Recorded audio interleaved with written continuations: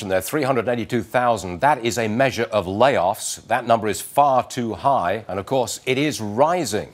Add that to last Friday's dismal America Not at Work jobs report. Throw in the, the wrinkle of $4 gas, which a majority of Americans are now paying, and it adds up to a slow economy, a very poor job market, rising inflation, $4 gas, and with that as the backdrop, Ben Bernanke this afternoon is widely expected to announce a new money printing operation, trying to get the economy going.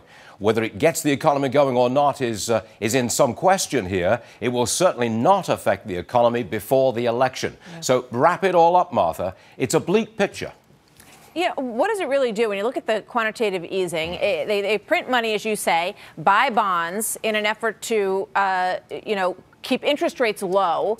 That makes the dollar a little bit softer, right? And it makes yep. stocks a little bit more attractive. But ha- that doesn't sound like it really affects, you know, everybody just sort of out in America. No, so far it has not. We've pumped out all of this cash into the economy, and it's not raised the level of activity in the economy. A lot of that money's found its way onto Wall Street. The stock market's at a four and a half year high. But as for getting together a robust recovery, it simply hasn't happened. And it's not likely to happen if Ben embarks on more printing today. Yeah, we've heard so much negative about uh, big bankers and fat cats on Wall Street, and it seems that the, the government action the administration action so far seems to be benefiting uh, those folks more than Main Street. Correct. Uh, at least in this common scenario. That's correct. Stuart, thank you very much. Stuart Varney, FBN, coming up soon. Back to the